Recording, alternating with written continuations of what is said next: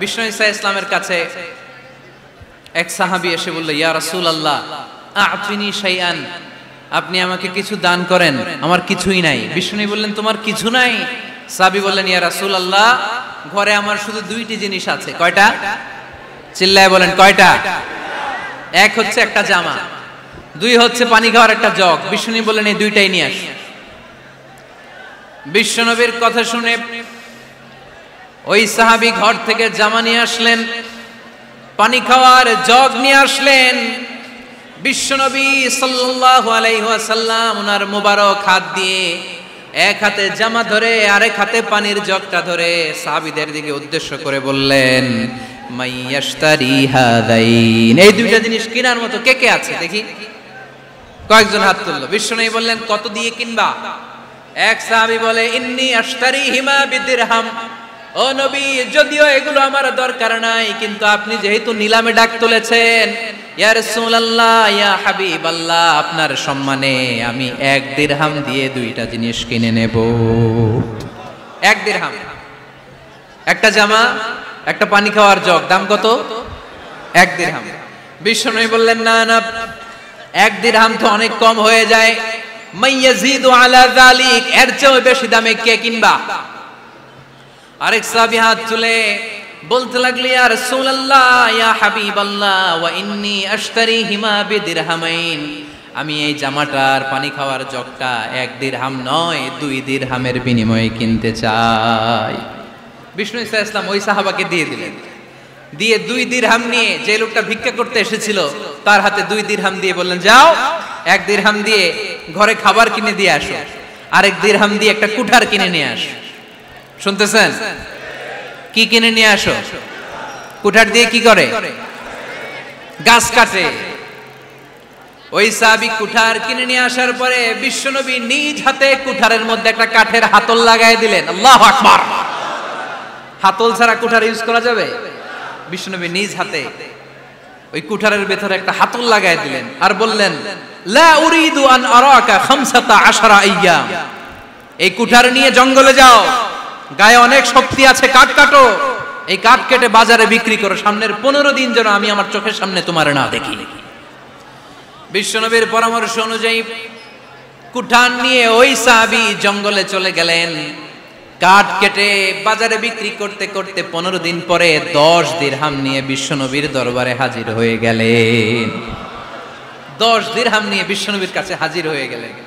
সাহাবি এসে বলল, ইয়া রাসূল আল্লাহ এখন আর আমার ভিক্ষা করা লাগে না। আমার গায়ে অনেক শক্তি আল্লাহ দিয়েছে। আই এম ভেরি এনার্জেটিক আপনার দেয়া বরকতের কুঠার দিয়ে আমি কাঠ কেটে কেটে স্বাবলম্বী হতে শুরু করেছি।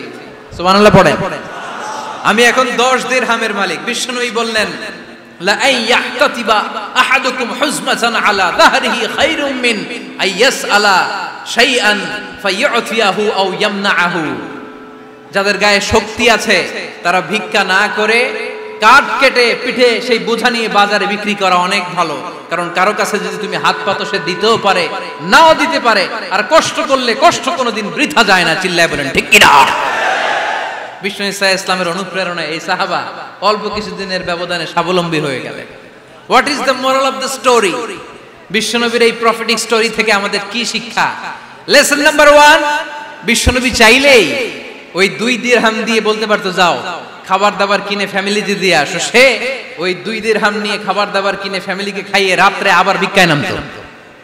কথা কন। রাত্রে কি করতো? ভিক্ষায় নামতো। বিষ্ণু ইসা ইসলাম তাকে কাজ করে খাওয়ার জন্য উৎসাহ দিলেন। পাশাপাশি বিষ্ণু ইসা ইসলাম পার্মানেন্ট সলিউশন দিলেন। এজন্য পার্মানেন্ট সলিউশনের ব্যবস্থা করতে হবে। অনেকে আমরা জাকাত দেই, জাকাতে শাড়ি দেই জাকাতের লুঙ্গি দেই, আছে না নাই? লক্ষ্মীপুরে এরকম দেয় নাকি? কি দেয়? হ্যাঁ? গাড়ি? গাড়ি দেয়? শাড়ি? না। জাকাতের শাড়ি, জাকাতের লুঙ্গি বলতে কোনো কথা ইসলামে নাই। এগুলো খুব কম দামি শাড়ি। যাদেরকে এগুলো দেয়া হয় তাদেরকে অপমান করা হয়। ঠিক কিনা? আল্লাহ বলেছেন, ওয়ালাকাদ কাররামনা বানি আদম। I have dignified the status of the sons of Adam আমি আদমের সব সন্তানদেরকে সম্মানিত করেছি। সুবহানাল্লাহ পড়েন।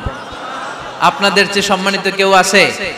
মানুষের চেয়ে সম্মানিত গোটা বিশ্বে আর কোনো মাখলুকাত আছে? নাই। এজন্য জাকাতের শাড়ি দেয়া যাবে না। জাকাতের লুঙ্গি দেয়া যাবে না। জাকাতের শাড়ি আপনারা দেখছেন? এটারে একবার ধোয়ার পরে দ্বিতীয়বার পড়া যায় না। মশারি কি পাতলা? এর চেয়েও পাতলা। এই জন্য জাকাতের শাড়ি, জাকাতের লুঙ্গি বলতে ইসলামে কোনো পরিভাষা নাই। আপনাকে স্বাবলম্বী করে দেওয়ার চেষ্টা করতে হবে। যারা লক্ষ্মীপুর জেলায় বিজনেস ম্যাগনেট আছেন, তারা একসাথে হয়ে একটা স্ট্রং জাকাত ম্যানেজমেন্ট প্ল্যাটফর্ম করতে পারে যেখান থেকে আপনারা বিভিন্ন থানায়, বিভিন্ন গ্রামে বাছাই করে করে কিছু ভাইদেরকে জাকাত দিতে পারেন স্বাবলম্বী করার উদ্দেশ্যে। যেই ফ্যামিলিকে আছে? কি নাম এটার? পল্লী উন্নয়ন ক্লাব। মাশা জাকাত ফান্ড দিয়ে বিদেশে লোক পাঠায়। এর চেয়ে সুন্দর পদ্ধতিতে জাকাত বিতরণ আর হতে পারে যেই লোকটাকে, যেই ছেলেটাকে বিদেশে পাঠানো হয়েছে, ওই ফ্যামিলিটা আর কোনোদিন জাকাতের শাড়ি নেওয়ার জন্য লাইনে দাঁড়াবে? যেই ছেলেটাকে ওনারা অস্ট্রেলিয়ান গাভী কিনে দিছে, দুধ বিক্রি করে যেই ফ্যামিলিটা স্বাবলম্বী হতে শুরু করেছে, তারা আর কোনোদিন জাকাতের লাইনে যেয়ে দাঁড়াবে? না। এজন্য জাকাত দিতে হবে স্বাবলম্বী করার জন্য। ইসলাম আমাদেরকে এটাই শিখিয়েছে, কাজ করে খেতে হবে কাজে লজ্জা নেই। লজ্জা হচ্ছে অলসতায়। লজ্জা কিসে? আজকের আলোচনা থেকে এটা মুখস্থ করে নিতে হবে। কাজে লজ্জা নেই। লক্ষ্মীপুরের ইয়াংস্টারেরা শ্রমে লজ্জা নেই। পরিশ্রমে লজ্জা নেই। লজ্জা অলসতায়। লজ্জা কিসে? আরও জোরে। নবীরা কি এমনি এমনি বসে বসে খাইছে? কঠিন পরিস্থিতিতেও নবীরা পরিশ্রম করে উপার্জন করা লেগেছে, ঠিক কিনা? সৈয়দনা মারিয়াম আলাইহাস সালাম যার নামে আল্লাহ তাআলা কোরআনে একটা সুরা দিলেন।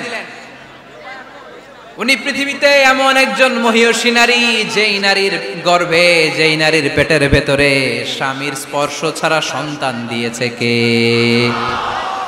সৈয়দনা সালাম পেটে আসলেন। মারিয়াম আলাইহাস সালাম লজ্জা পেলেন। হায় হায়, কেমন করে এলাকাবাসীদের কাছে আমি আমার মুখ দেখাবো, বিয়ে করি নাই, স্বামী নাই। বিয়ে হয় নাই, স্বামী নাই, কিন্তু পেটে সন্তান চলে এসেছে। হায় হায়, এলাকায় কেমনে মুখ দেখাবো? লজ্জায় পড়ে মারিয়াম আলাইহাসসালাম এলাকা থেকে চলে গেলেন। কি অবাক করা কাণ্ড, বাচ্চা ভূমিষ্ঠ হওয়ার জন্য, বড় হওয়ার জন্য ছয় মাস, সাত মাস লাগে নাই পেটে বাচ্চা আসার, সাথে সাথে বাচ্চাটারে বড় করে দিয়েছে কে? সৈয়দাতুনা মারিয়াম আলাইহাস সালাম এবার বসে পড়লেন। বুঝতে আরম্ভ করলেন প্রেগনেন্সির পেইন উঠেছে। হঠাৎ করে পেট থেকে বাচ্চা ভূমিষ্ঠ হয়ে যাওয়ার পরে উনি কাঁপতে আরম্ভ করলেন, ক্ষুধার চোটে খাবার কিছু নাই, সামনে ঝরনা উপরে একটা খেজুর গাছ। সৈয়দনা ঈসা আলাইহিস সালামকে কোলে নিয়ে মারিয়াম আলাইহাস সালাম মনে মনে ভাবে, হায় রে, কেউ যদি একটু খেজুর পেড়ে দিত, এই ক্ষুধার মুহূর্তে আমি খেজুর খেয়ে পেটের ক্ষুধা নিবারণ করতাম। রব্বুল আলামিন মারিয়ামকে উদ্দেশ্য করে আয়াত নাজিল করে দিলেন ওয়া হুজ্জি ইলাইকি বিজিযিন নাখলাতি, তুসাকিত আলাইকি রতবান জানিয়া। কোরআন সাক্ষী, হুজ্জি এর মানে হচ্ছে মারিয়াম কেউ পেড়ে দিবে না। একটু কষ্ট করে হাতটা উঁচু করে খেজুরের ডালা ধরে ঝাঁকুনি মারো। টষ্ট সে কাঁচা পাকা খেজুর নিচের দিকে পড়বে, তারপর তুমি তুলে খাবে। সুবহানাল্লাহ পড়ে আল্লাহ চাইলে অটোমেটিক্যালি কারামাত হিসেবে খেজুরগুলো নিচে ফেলতে পারতেন না? কথা কোন। খেজুরগুলো অটোমেটিক্যালি নিচের দিকে পড়ছে? পরে নাই। আল্লাহ শিক্ষা দিয়েছে, যেই পরিস্থিতিতে থাকো না কেন, তোমাকে শ্রম ব্যয় করে, কষ্ট করে তোমার উপার্জন করতে হবে, রিজিকের বন্দোবস্ত করতে হবে। চিল্লায় বলেন, ঠিক কিনা?